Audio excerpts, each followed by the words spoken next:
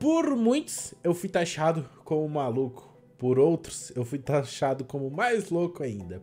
Mas hoje estou aqui para poder revelar toda a verdade para vocês e falar o que o Roblox, na verdade, o que o Blox Fruits vem escondendo de você. Hoje, o Axior postou um vídeo falando sobre a raça V4 e todo mundo sabe que, mano, ele é o único, assim, que poderia nos dar uma luz, que poderíamos é, explicar exatamente como pegar a raça V4. Então, mano, hoje Tamo aqui para poder ver o vídeo deles, né? Pra, pra, dele, para poder dar uma olhada, eu não vi. Tô aqui para poder ver com vocês, né? Enfim, mano, vamos embora, vamos ver aí a verdade. Na verdade, já recebi alguns spoilers aí, né? Mas eu quero ver o vídeo e entender por si junto com vocês. Então vamos embora. Ah, ele é um youtuber gringo, então tipo assim, né? É, e vocês podem ver aqui, ó, vai ter a legenda. Ó, nas últimas semanas houve inúmeros vídeos falsos da corrida Awakening, é, circulando em todas as plataformas de mídia social e inúmeras pessoas... não adianta, a gente não tá entendendo nada do que, que ele tá falando. É, pelo, que eu, pelo que tá pra entender que ele tá mostrando aqui, é, ele tá mostrando que, tipo assim, que as pessoas postaram vários vídeos e enfim, mano, eu vou é, falando sobre a raça e nenhum era verdade, né?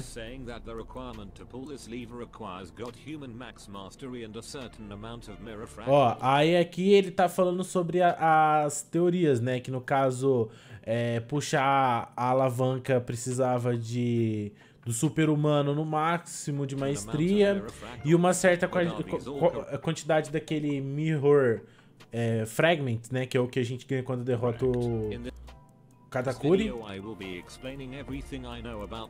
Estarei explicando tudo sobre o quebra-cabeça. E tempo. Eita pega. Obrigado, música. Explicar como é o templo do... Ah, tá, ok. Vamos lá, né? Mostre-me o que o templo faz, né? Isso daí é pra gente sair, né? Sim, isso daí eu sabia, que eu mando a gente pra fora do templo. In order to open it, you must pull down the lever. This step is also the step that all blocks fruits players unable to complete. People are saying God human fighting style and mirror fractal is needed to pull this lever. This temple is obviously made for Ace Awakening. It had nothing to do with fighting style. And what does uhum. Mirror Fractal have to do with pulling the lever or strength? Tá. Let's explore the inside of Temple of Time. Ele, ah, olha que legal! Agora a gente vai poder ver por dentro do templo, mas ele basicamente está falando que para poder entrar aqui no templo você precisa puxar a alavanca, né? Olha que massa!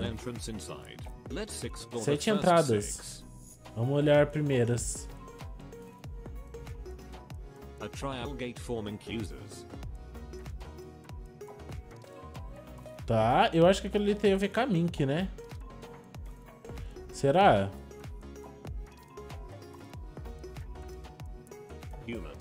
Humano. We will be skipping this entrance for now and talk about it later.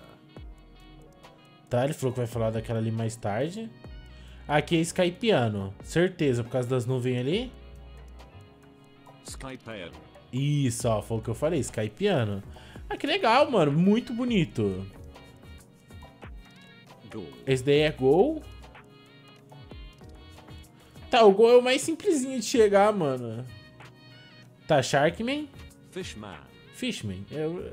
Fala Sharkman errado? É, eu acho que é. Sharkman é um estilo de luta, né, mano? Tá, aí é Cyborg. Provavelmente cada lugar pra gente poder despertar a nossa raça, né? Finalmente vamos explorar a entrada. Ok. Ah, tá. Aquela última que, que ele falou que ia explorar depois. Tá, será que é alguma coisa secreta? Não, tá faltando um, não tá? Não é Mink? Ou não tá faltando... Eita, pega. Hum. Antes de subirmos as escadas, existe na verdade um NPC chamado... O que esse NPC faz depois de explorarmos a sala acima das escadas. Vamos subir, ok. Ele vai falar depois sobre esse NPC. Esse NPC é o que muita gente teorizou que você precisaria, tipo, falar para poder liberar as raças, né? Tá, tem um... Ah, eu acho que é aí onde fica aquele relógio, né?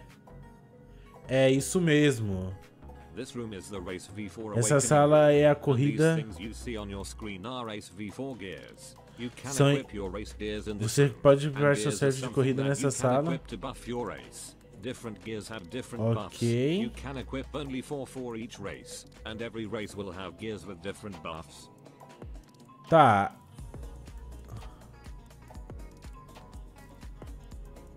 Tá, ok, ok, ok. Eu, eu acho que eu entendi. Que ele vende as duas últimas engrenagens. Pelo que eu entendi, você vai precisar das engrenagens ali que ele mostrou para poder despertar a raça V4, tá?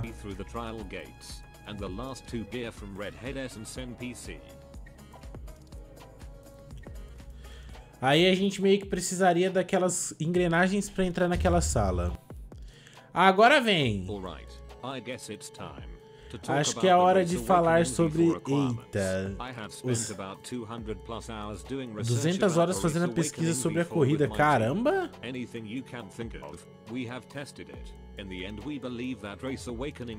Exist. But why would Blox Fruit slide about this? This not only made them lose the community's trust, but also ruined the reputation of their own game.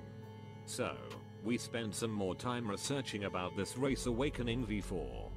I'm glad we found some clues about Race Awakening V4. Tá. An exploiter revealed that the Mink description of Race Awakening V4 does not exist, which probably means that this puzzle is not finished yet. Secondly, if you doesn't know about this, but there is 12 full moons every Mas a 12 luas cheias, mano.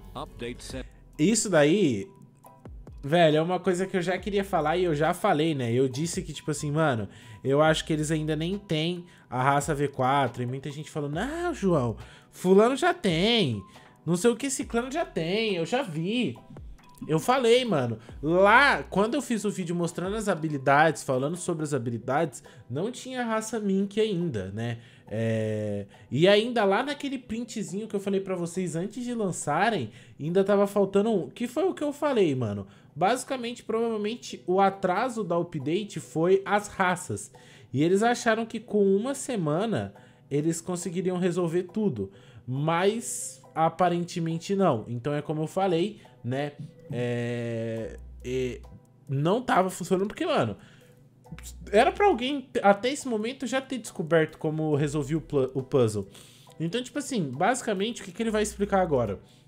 É um método que ele achou que seria uma data é, que talvez o Block Fruits colocou pra até lá terminar a raça. Vocês vão entender agora, ó. Ele tá falando sobre as luas cheias no ano, é, tipo, no horário das luas cheias, no, tipo, na vida real mesmo, tá ligado? Fora do jogo and the 10th of September happens to be the full moon period, which mean the update. Ó, ele tá falando que setembro e outubro são os períodos de lua cheia.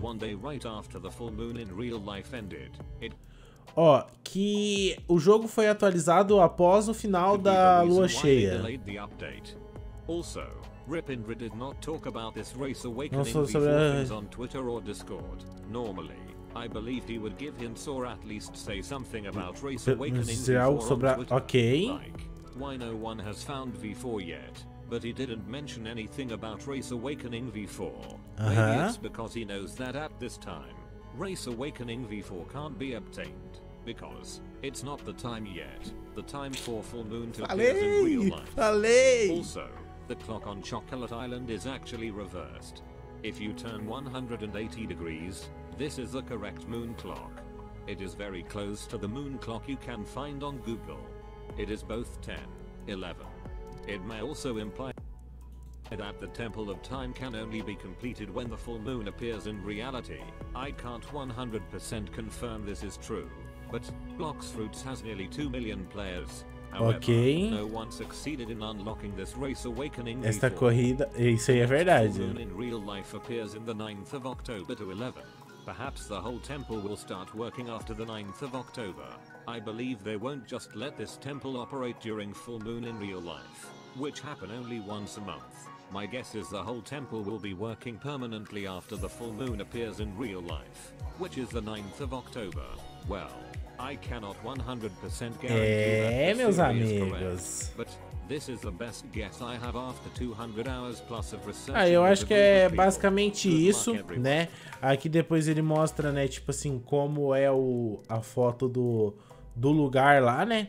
Aqui é a entrada, aqui você vai pro. pro aqui é a, é a porta que a gente. Aqui, né? Aqui é a alavanca, que é a porta que a gente abre, né? Aí a gente entra pra cá e aqui a gente vai pro Fishman, Cyborg, Mink. Enfim, mano. Resumidamente, rapaziada, explicando de uma forma melhor pra vocês entenderem o que aconteceu. Existem aqueles dois relógios, né? Que um relógio fica lá na Ilha do Chocolate, é, que ele tá invertido, muita gente viu isso. E pelo que o Hip, o Hip Indra, não, pelo que o Axior pesquisou, né? Que ele falou que ele gastou mais de 200 horas pesquisando sobre a- as coisas em si, tipo, por despertar da raça, ele chegou à conclusão de analisando ali a questão da lua, porque a gente sabe que, tipo, o próprio Rei Selado fala, ah, isso funciona melhor pela lua cheia. E, mano, imagina, é, eles já tinham anunciado a data, né? Eu acho que seria algo que eles queriam fazer, né? Tipo assim, fazer mais ou menos a data quando fosse realmente ter a lua cheia na vida real. Então eles basicamente mudaram aí o rolê.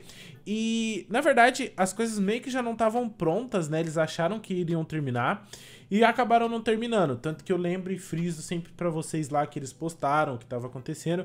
E cara, a comunidade começou a cobrar muito, então eles pensaram assim, pô, Vamos lançar o jogo aí, é isso.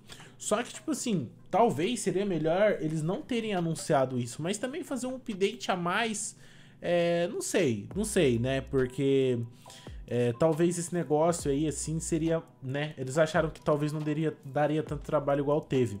Mas se eles não pensassem dessa forma, eles não teriam feito as coisas como eles fizeram, né?